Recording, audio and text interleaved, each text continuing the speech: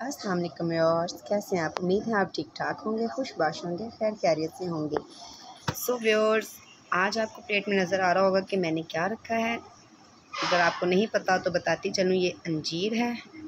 मैं आपको निकाल के दिखाती हूँ ये देखिए। जो कि बहुत ही फ़ायदेमंद है। इसे जन्नत का फल भी कहा जाता है। जो कि चेस्ट इन्फेक्शन के लिए और हर तरह की बीमारियों के लिए बहुत मुफीद है। तो आ, मैं आज की मैं अपनी इस वीडियो में आपको इसके फ़वाद बताऊँगी और इसको इस्तेमाल कैसे करना है इसका तरीका बताऊँगी। आजकल चेस्ट इन्फेक्शन बहुत बड़ा हुआ है। और इन सब के लिए मेडिसिन खाएँ तो फिर मैदे के प्रॉब्लम्स हो जाते हैं, दूसरी प्रॉब्लम्स हो जाती हैं। मतलब कि मज़ीद नई से नई प्रॉब्लम्स क्रिएट होती जाती हैं कि आपको फिर साथ दूसरी मेडिसिन भी खानी पड़ती हैं।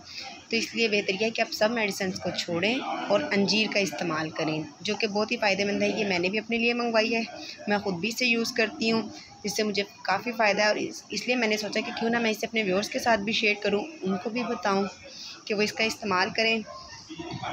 सो अंजीर जो है वो फेफड़ों के कैंसर के लिए, दमे के मरीज़ के लिए, एलर्जी, रेशा वगैरह जो होता है, सीने का कैंसर, इन सब के लिए बहुत ही बेहतरीन है।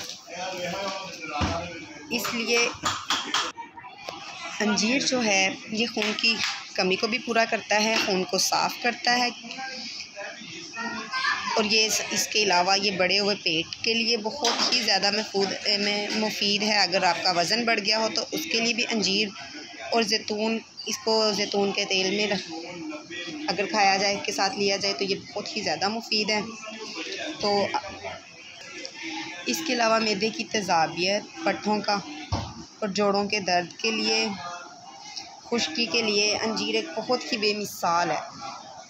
इसके अलावा इसकी मिसाल आप ऐसे ले जैसे कि इंसानी जिसम है, जैसे एक हमारा जिसम है और हमारी रूह है, अंजीर भी ऐसे ये देखिए, इसके बाहर ये देखिए, ज़ाहिरी शक्ल है और अंदर इसके जो है, जैसे कि ये देखिए, इसका बाहरी स्किन है और ये इसकी, जैसे इंसानी जिसम की मिसाल ऐसे ले लीजिए और ये इसके अंदर,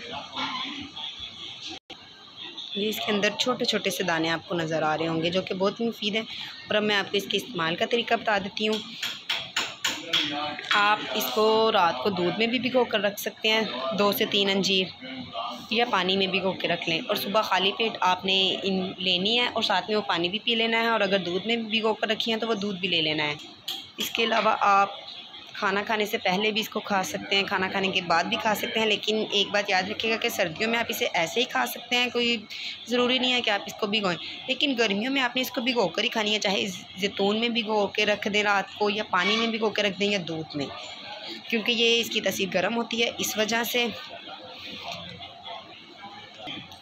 सो so, व्यूअर्स उम्मीद है आपको मेरी आज की वीडियो पसंद आई होगी।